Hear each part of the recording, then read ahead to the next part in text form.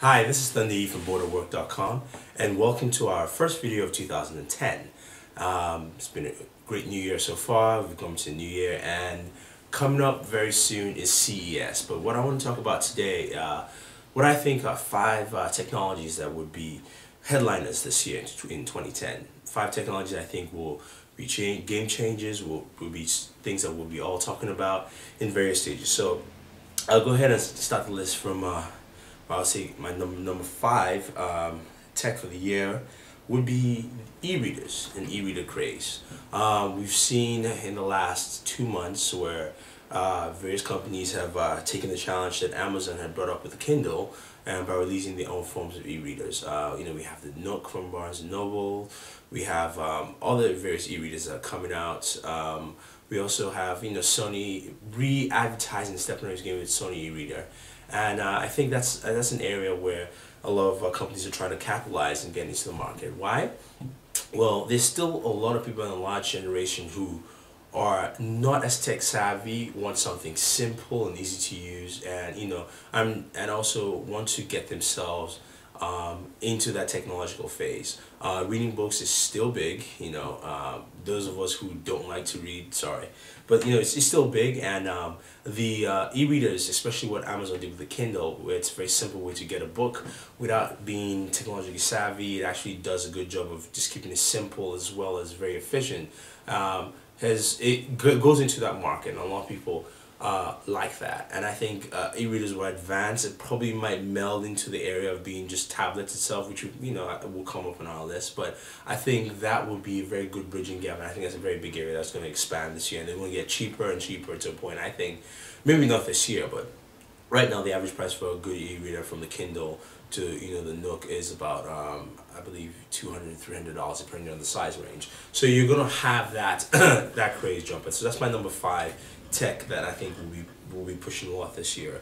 Um, my number four technology, and I think which would be um, big, is actually um, Android and the mobile OS market. Um, 2009, you know, most a lot of people consider was the year of Android and Google, but I think 2010 will be that year because um, the mobile market is growing, especially the smart smartphone mobile market, and um, you know we know uh, Apple is the dominant factor in the U.S. You know, and then you have BlackBerry in the ring with BlackBerry, and Android has come out of the cut and just basically ridden this wave all across, and everyone's excited. Everyone's excited about you know the launch of the Nexus One phone, and um, you know this year we're going to see more Android devices, more companies picking them up, more companies making you know software manufacturers making Android phones. You know we know HTC has jumped on board fully. Uh, Samsung also is there, and um, seeing that big push to Android will basically galvanize the cell phone market. Now we know Palm has, has a press conference CES.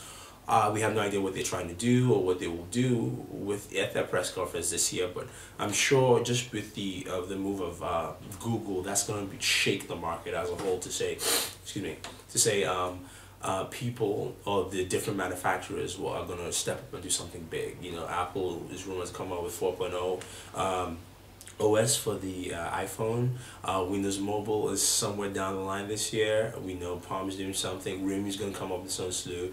And Android is really pushing it. So I think Android and uh, basically Android's mostly in the mobile market will be big news this year. So I think that's my, for me, that's my number four uh, um, technology. Number three, um, I say HD movies. You know, the HD 3D movies, I mean, sorry.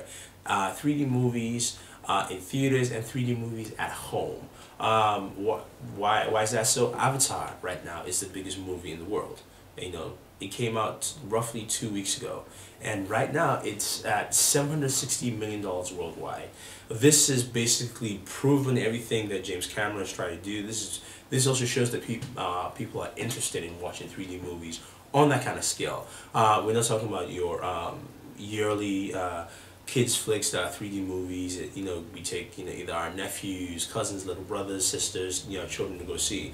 But we're talking about live action 3D movies, and um, Avatar I think has set that pace forward.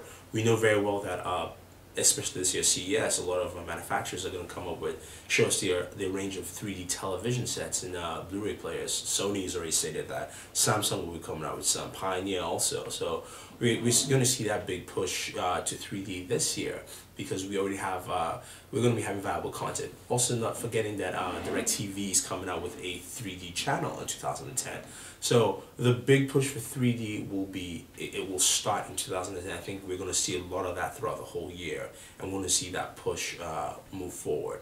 Um, so yeah, that's my number three uh, technology for for the year. I think will, that will make a lot of noise and make a lot of waves. Number two, I would say, is um, TV on the go. Um, On the go ties in a lot of things. We've heard rumors of Apple uh, releasing, uh, basically combining the iSlate with a subscription service that allows you to watch different TV shows. We know we know how big Hulu is with four million subscribers on a daily basis. Um, and we, we, we've heard of Hulu going into subscription model, which actually might benefit and make it more robust service where we have a bigger catalog. But the fact that we have internet TV or at least streaming services that provide TV content on a fairly regular basis uh, I think is going to be very big this year. Be, be, Apple, be Hulu, or another party come through, even TV.com, which is already you know competing with Hulu in the same space. I think the idea that we will start having the ability to you know leave our, our homes, travel you know from the East Coast to the West Coast, and watch the same shows or content that we usually work in our local area area without having to. Um, um, leave our comfort zone, so to speak. I mean, as once, once you have a computer, a laptop, a tablet device, who knows, maybe, you know, nice little courier, you will be able to watch uh, TV, even on your mobile phones, I think. So I, I think that push or for, you know, the dream that um, we've heard in the past of internet TV, I think is slowly coming come to fruition. And I think we'll see that this year on a very large scale. Be it Hulu be it Apple that subscription be anyone else. I think that's going to be very big this year. And our number one and what I think is our number one uh, uh, newsbreaker this year would be tablet computing. Uh, the iSlate, uh, which is the rumored name for Apple tablet, Microsoft Courier. Um, we, you know, all the manufacturers, which I'll, I'll get to in a second, but from all indications and all things, it looks like every single manufacturer out there is making a, a tablet PC of some sort. We've had tablet PCs in the past, you know, but there were more traditional PCs that folded around to a tablet. But we're looking at uh, a point in time where we know that um, Apple has something in the works. We don't know what it is specifically, but all indications look like it, it is a tablet, which we call the iSlate and might come up with a service which I just mentioned. Um, how the device looks and runs, we'll see when Apple decides to announce that, if that's on January 26th.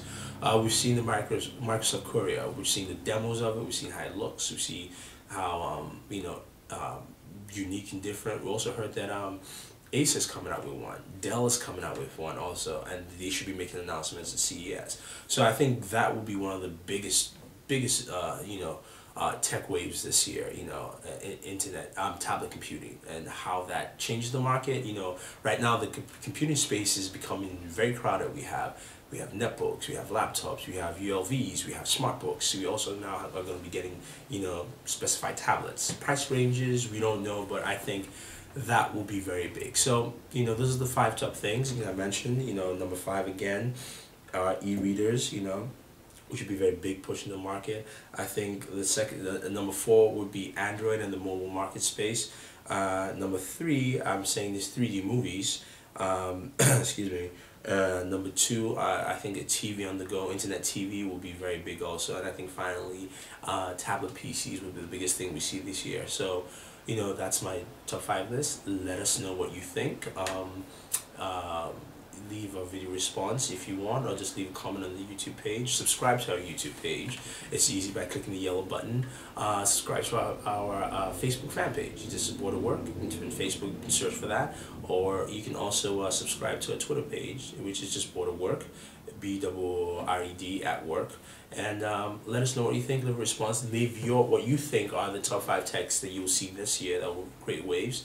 And again, this is Thunder E from Booredatwork saying, always enjoy your entertainment. Thank you.